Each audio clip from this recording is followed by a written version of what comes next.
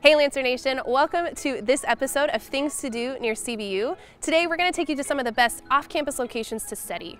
Here at CBU, we have some great locations to get some papers done, meet up with friends for group projects, but we all know that getting off campus and getting a change of scenery can really help those creative juices flow. Here we have Taylor who's going to take us through some of those best off-campus locations.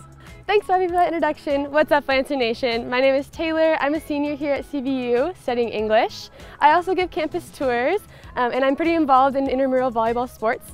But when I'm not giving those tours and when I'm not on the court, I am studying pretty hard. It's no secret that attending college means a lot of coursework, um, so it's essential to have options when it comes to studying. Today, we're going to take you to a few off-campus locations where a lot of our students like to study. First on the list is the Riverside Classic, the Riverside Main Library, located next to the historic Mission Inn in downtown Riverside.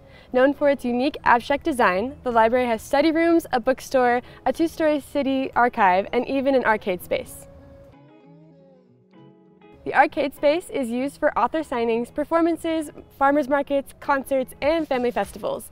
CBU has a strong coffee culture on campus, and students are always on the hunt for the best coffee Riverside has to offer. Lancers love Condren Coffee, located on Sunnyside Drive. The aesthetic interior and cool vibes of Condren make the spot a must for checking off items on your classwork to-do list. Next is Arcade Coffee Roasters. This coffee spot has three locations throughout the city of Riverside. And if you didn't know, Arcade is owned by CBU alum Stephen Hassemeyer. We love seeing members of the Lancer Nation out doing great things. Last up is Daily Brew Coffee, our neighborhood coffee shop.